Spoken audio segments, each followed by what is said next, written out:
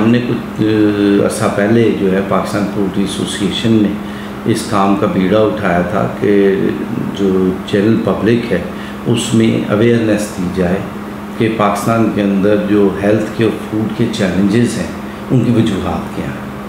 اور اس کے اوپر بات ہو رہی تھی اور کوئی بندہ یہ بات نہیں کر رہا تھا۔ لیکن آج جو ہے وہ حکومت، وزیر اعظم اور سارے جو منسٹرز ہیں وہ اس کے اوپر بات کری ایون سیاست دان جو بات کرتے ہیں کہ پاکستان کے اندر پچاس فیصد لوگ جو ہیں اسٹنٹیڈ ہیں، جو ینگر جنریشن ہے اور اس کے بعد عورتوں کے اندر پچاس فیصد سے زیادہ جو ہے وہ انیمیا اور uh, آئرن کی ڈیفیشنسی اور وائٹامن کی ڈیفیشنسی سے۔ تو یہ ایک ریکگنائز کروانا ایک بہت بڑا فیز تھا جس میں پاکستان پورٹی ایسوسیشن کامیاب ہوئی اور آج پالیسی میٹرز میں یہ چیزیں ڈسکس ہو رہی ہیں۔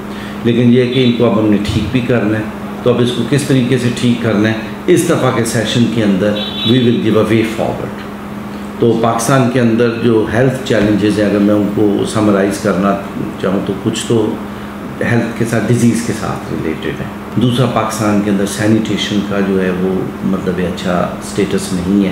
تو فوڈ ڈیفیشنسی جو ہے وہ اس کے اوپر ہم بیسیکلی اس کے اوپر فوکس کریں گے کیونکہ پولٹری جو ہے وہ فوڈ کے ساتھ ایسوسیٹیڈ ہے۔ تو اس کے اوپر کہ ہم لوگ کیا کر سکتے ہیں؟ انسانی خوراک کے دو تین میجر جو اس میں ایک انرجی ہے جو کہ گرینز کے ذریعے آتی ہے، جیسے ویٹ ہے، مکئی ہے، چاول ہے۔ تو یہ چیزیں پاکستان میں وافر پیدا ہوتی ہیں، لیکن ڈسٹریبیوشن سسٹم نہ ہونے کی وجہ سے ہر آدمی تک صحیح نہیں پہنچتی۔ گورنمنٹ کا کام ہے کہ وہ کس طریقے سے اس کو یونیفارملی پہنچاتی ہے۔ دوسری ہے پروٹینس پروٹینس کے اندر جو ہے نارملی ایک آدمی کو ڈبلیو ایچ او کے مطابق ستر سے پچہتر گرام کے قریب پروٹین لینی چاہیے، اور اس میں سے تقریباً اٹھائیس گرام اینیمل پروٹین ہونی چاہیے۔ ہمارے یہاں تقریباً انٹیک اٹھارہ گرام کی ہے۔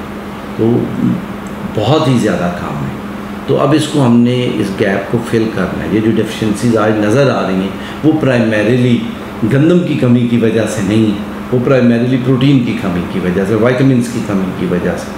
تو یہ چیزیں ہم کہاں سے حاصل کر سکتے ہیں؟ یہ چیزیں آپ حاصل کر سکتے ہیں بیف سے، مٹن سے فش سے، دودھ سے، انڈے سے اور مرغی کے گوشت سے۔ اور جی، یہ گورنمنٹ کا کام ہے کہ ان ساروں کی پروموشن کرے پروڈکشن کی، تاکہ لوگوں تک مطلب ہے کہ یہ آلموسٹ ڈبل ہوں گی تو پھر جو ہے، یہ اپنی ریکوائرمنٹ جو ہے نا، وہ انسانی خوراک کی ریکوائرمنٹ کو پورا کریں گے۔ لیکن یہ ڈائلیما جو ہے، وہ یہ ہے کہ مٹن بیف اور فش کو پروڈیوس کرنا is very difficult number one اور دوسرا اٹ از ویری ایکسپینسو ہمارے یہاں ایک عام آدمی جو ہے اس کی پہنچ سے، اس کی قوت خرید سے دور ہے۔ تو پھر اس کے پاس چوائس کیا رہ جاتی ہے؟ وہ آ جاتی ہے انڈے اور مرغی کی۔ تو ایک اچھی کوالٹی کی خوراک، اچھی کوالٹی کی پروٹین ان کو سستے داموں مل سکتی ہے۔ اس وقت پاکستان میں تقریباً ایک عام آدمی جو ہے، وہ تقریباً سات کلو پر کیپیٹا پر ایئر جو ہے نا چکن میٹ کنزیوم کر رہا ہے۔ اسی کے قریب جو ہیں وہ انڈے جو ہے نا وہ کنزیوم کر رہا ہے۔ تو مطلب ہے کہ میں یہ سمجھتا ہوں کہ اگر یہ سات کلو سے بڑھ کر تو یہ تقریباً بیس کلو ہو جائے اور اسی انڈے جو ایک آدمی کھا رہا ہے، یہ بڑھ کر تو ڈیڑھ سو انڈے کے اوپر ہو جائے یا ایک سو ساٹھ انڈے کے قریب ہو جائے۔ تو یہ جو آج آپ کے ہاں نیوٹریشنل ڈیفیشنسی ہے، یہ مکمل طور پر ایڈریس ہو سکتی ہے۔ دنیا جو ہے، وہ پولٹری کی طرف جا رہی ہے۔ دنیا کے اندر جو میٹ کی کنزمپشن ہے اس کا ففٹی پرسنٹ سے زیادہ جو ہے وہ چکن میٹ ہے۔ اور امریکہ کے اندر بھی جو کہ ہیلدی نیشن ہے ویلدی نیشن ہے افورڈ کر سکتے ہیں اور ان کے پاس سب کچھ اویلیبل ہے۔ فش بھی ہے مٹن بھی ہے بیف بھی ہے۔ اس کے باوجود ان کی پریفرنسز چکن اس لیے کہ چکن کو وہ ایک بہتر سورس آف پروٹین سمجھتے ہیں۔ سب سے بڑا تو وے فارورڈ یہی ہے کہ جی پولٹری اور پولٹری پروڈکٹس جو ہیں، یہ اس گیپ کو فل ان کر سکتی ہیں۔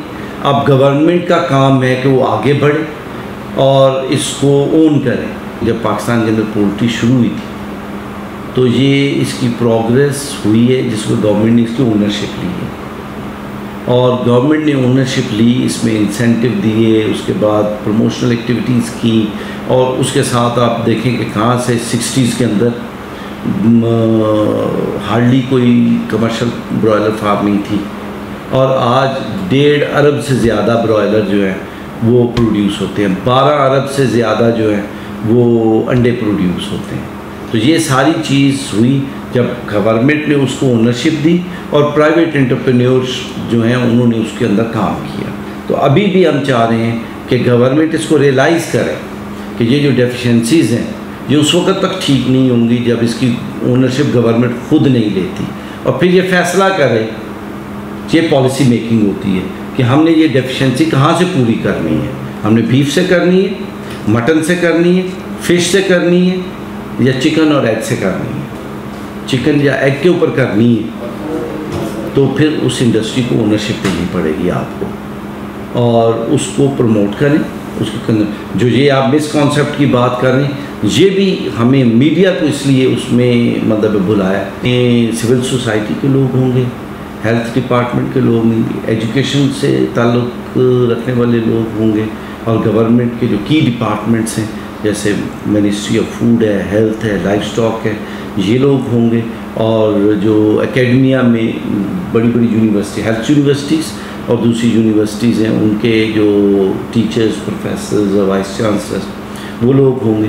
مقصد یہ ہے کہ اس پیغام کو لوگوں تک پہنچایا جائے اور ہمیں اس کو مطلب اس کو اونرشپ دینی پڑے گی کہ ہر شخص اس کو اون کرے کہ ہم نے اپنے ملک میں سے اس جو غذائی قلت ہے، اس کو دور کرنا ہے۔ اور یہ ڈیفیشنسی اگر قوم ہیلدی نہیں ہوگی تو وہ سوچے گی بھی نہیں اور کھیلے گی بھی نہیں۔ آج آپ کی سپورٹس جو ہیں ہیلدی لوگوں کی وجہ سے ہیں۔